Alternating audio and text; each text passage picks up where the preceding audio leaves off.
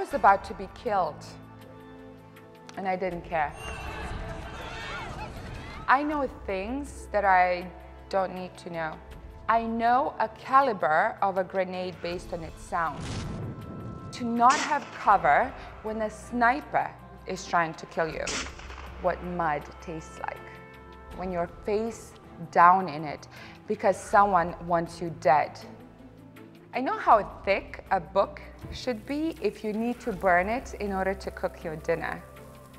I know what carrying 15 liters of water for five kilometers feels like and how mad you can be when a coward shoots at you and destroys the water supply you just carried for five kilometers.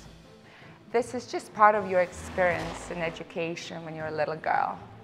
At least it was for me.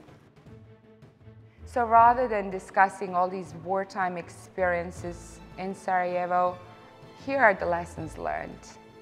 Ingenuity in the face of adversity. We were designed to learn and to be adaptable.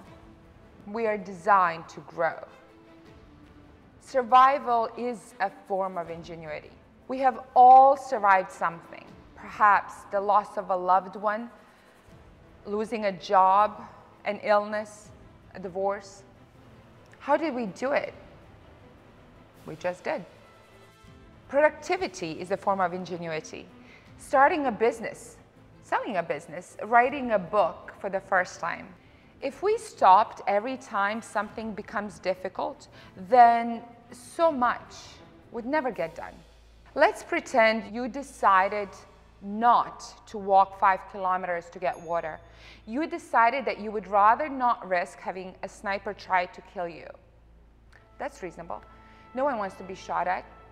But in my case, that meant that we wouldn't have water. I wanted water. My mother, my brother, my wounded father wanted water. So I decided to deal with it. What's your water? Do you need to lose weight? Do you need to earn more money? Whatever that is, internalize it as a must. I must lose weight.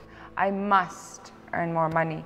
And here's the key learn to enjoy the process and be very grateful. Perspective can carry you through those very challenging times. When your heart is filled with gratitude, and with courage, there's absolutely no space for fear.